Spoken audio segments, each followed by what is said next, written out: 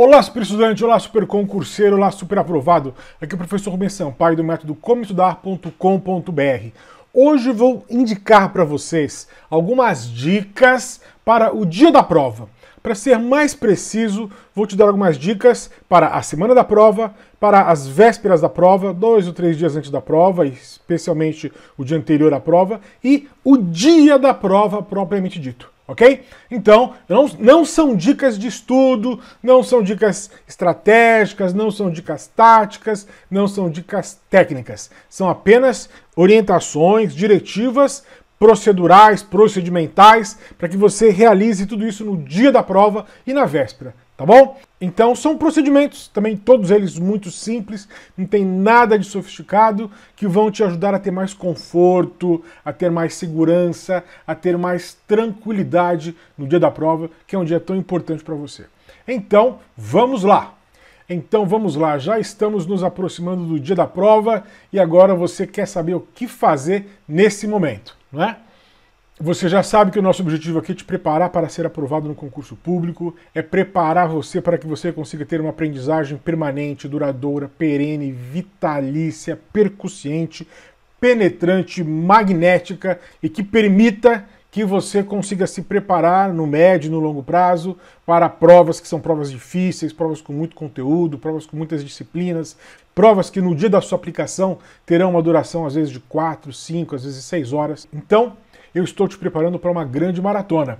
E é isso que a gente vai fazer aqui hoje. Esse aqui é o nome do nosso curso: Estratégias, Táticas e Técnicas Avançadas de Aprendizagem Profunda e Organização dos Seus Estudos. Então, o método Como Estudar te dá tudo isso. Mas hoje, hoje nós estamos certos que você vai fazer a sua prova agora e vai ser aprovado. Então, nós vamos te dar mais recursos ainda para que você consiga alcançar a sua aprovação. Então vamos, então vamos lá. Né? O que eu quero é você feliz assim, desse jeito, ó, vibrando. Né? Como eu já disse, essas dicas não são dicas de estudo propriamente ditas.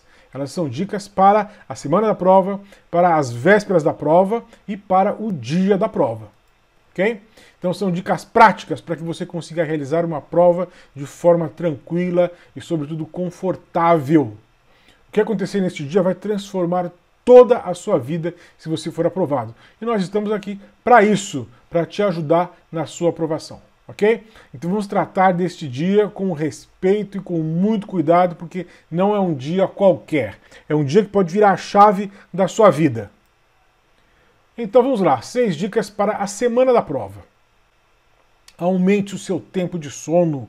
Alguns falam que o sono é o novo ópio, é a nova droga e sem dúvida alguma é uma forma de ópio saudável, né? Que de ópio não tem nada.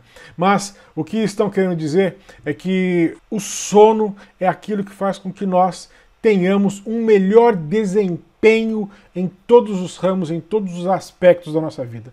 Então, na semana da prova, aumenta um pouco o seu tempo de sono, para que você consiga acumular, não cansaço, mas que você consiga acumular energia para o dia da prova ok? Então aumente o seu tempo de sono e é nessa semana, se você não conseguir aumentar o tempo de sono, pelo menos não cometa o erro gravíssimo de diminuir o tempo de sono na semana da prova, tá? Isso já, isso você não pode fazer jamais, de forma alguma, tá? Então aqui é aumentar, tá? Na pior das hipóteses, se você não conseguir aumentar o seu tempo de sono, você pelo menos mantenha ok? Desde que seja um, um período de sono saudável. Se você está dormindo 4, 5 horas só por noite, isso não vai te ajudar no dia da prova, ok? É claro que a questão do sono ela é toda é, uma questão muito complexa. Aqui no método Como Estudar, eu tenho lá uma sessão com várias dicas muito importantes, com várias orientações muito importantes sobre o sono. Mas aqui, para a semana da prova, a ideia é essa: tente aumentar um pouco o seu tempo de sono.